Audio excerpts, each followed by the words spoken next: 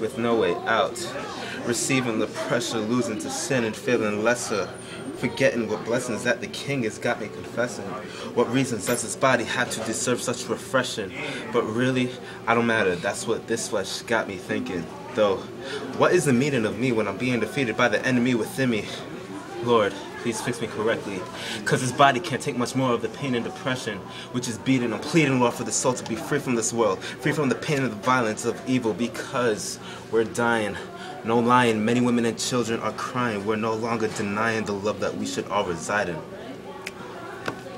Yep. Word. Oh, man. Yeah, it's kind of weird to snap with this hand. Yeah. Now, Andorinia, I how need do you feel? feedback. I, first of all, upon coming from uh, urban, what's it called? Urban Word. Urban word.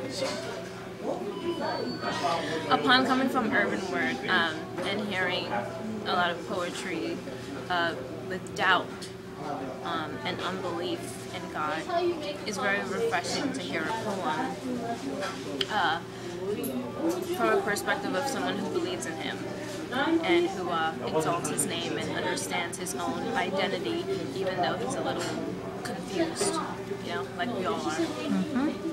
So I appreciate that, Carl. The golden question. Were you touched? Oh, yes. I was touched. Not violated, just touched. Not violated, but I was touched. Okay. Oh, he's proud. Oh.